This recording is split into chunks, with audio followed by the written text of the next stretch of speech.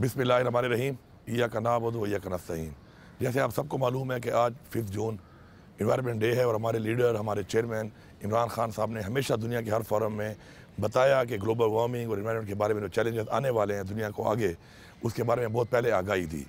और आज दुनिया उसको मान रही है उस पर काम कर रही है। के पी में हमारी गवर्नमेंट रही, इसके बाद भी फेडरल गवर्नमेंट रही तो इन्वायरमेंट में बड़ा काम किया गया और पहले हमने एक प्रोजेक्ट किया बिलियन ट्रीज़ के नाम से और उसके बाद अब उसको कंटिन्यू हम कर रहे हैं बिलियन प्लस ट्रीज़ के नाम से इन मैं उम्मीद करता हूँ कि इन अपनी नस्लों के लिए हम हमेशा की तरह पौधे लगा कर इन ग्रीन पाकिस्तान को इन फ़रोग देंगे। पौधे लगाएँ पाकिस्तान के लिए, अपनी आने वाली नस्लों के लिए, इमरान खान के लिए।